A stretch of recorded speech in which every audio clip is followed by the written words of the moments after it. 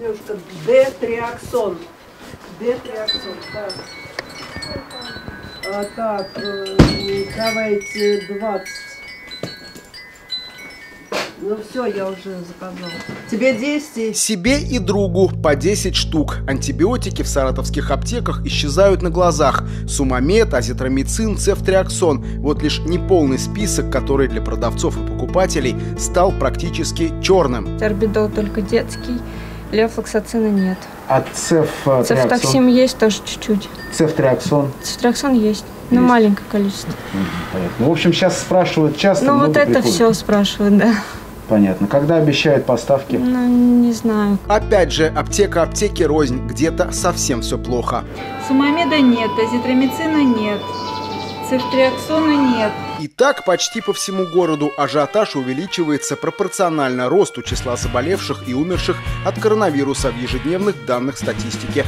Дефицит сперва накрыл продуктовые магазины, исчезла гречка. В аптеках он тоже уже был, но только по одной позиции. Вообще вся эта ситуация напоминает апрель месяц, когда в аптеках наблюдался дефицит масок. Но если их можно было изготовить в домашних условиях, то с препаратами так выйти из положения просто не получится. Как говорят владельцы фармацевтических компаний, все это закономерный процесс. До пандемии эти препараты чуть ли не пылились на полках, а теперь люди занялись в том числе и самолечением. реально система, наверное, любая система, не только наша, но и европейские системы, они не готовы были к такому наплыву, ну, скажем, увеличению объема работы. И э, это сказывается на то, что население, оно чувствует себя в какой-то степени защищенным.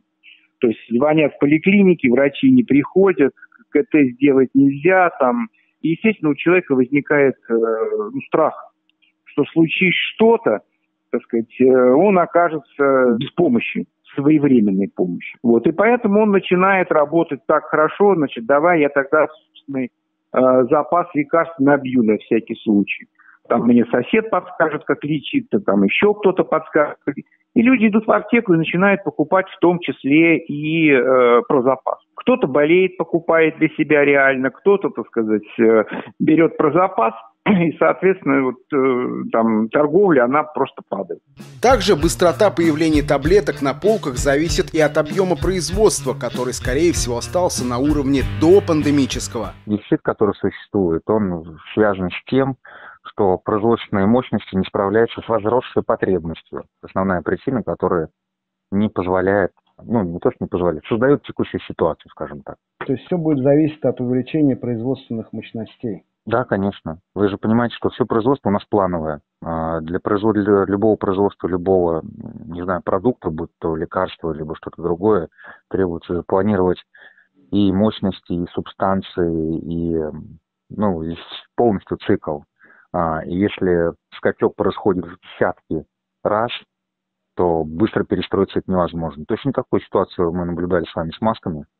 Помните, какая ситуация была в апреле? Ну, Конечно. видите, В настоящий момент маски продаются в табачных магазинах, вплоть до табачных магазинов, а раньше в аптеках нельзя было найти. По словам уполномоченного по защите прав предпринимателей Михаила Петриченко, на дефиците могло сказаться и введение обязательной маркировки препаратов с 1 июля этого года. Он об этом предупреждал еще задолго до этих событий.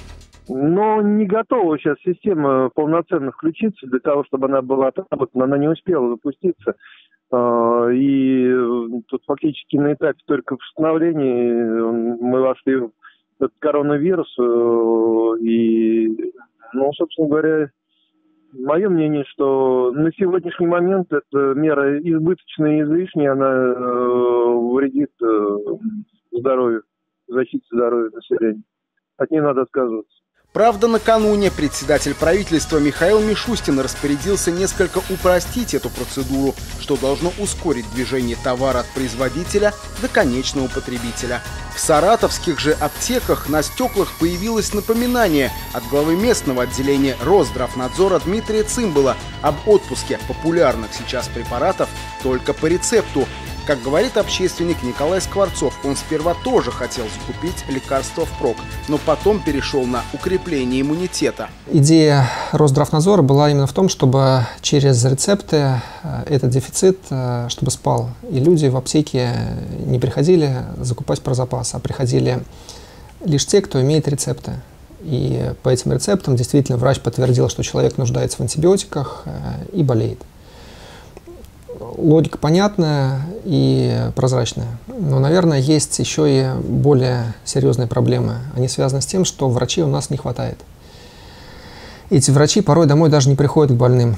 Они иногда консультируют по телефону, не видя, болеет человек, не болеет человек. Никаких рецептов они не выписывают. Многие знакомые мне рассказывали, что даже в больнице, когда приходят в поликлинику или в больницу, выписывают на тетрадном листочке, без печати, без э, форм специальных, на которых выписываются рецепты. И с таким листочком в клеточку в аптеку не придешь, никто никаких лекарств не даст. Как говорят в аптеках, в этом нет ничего нового. Рецепт нужен был и раньше, просто на это частично закрывали глаза. Я считаю, то, что рецептурный отпуск правильный, потому что заботится о людях. Как бы люди неправильно располагают лекарствами, которые поступают в их пользование. Поэтому я считаю, что правильно, что рецептурная форма существует. А без рецепта им трудно определить, закупает по необходимости или как с гречкой. Хочется и помочь людям, но в то же время вот нельзя.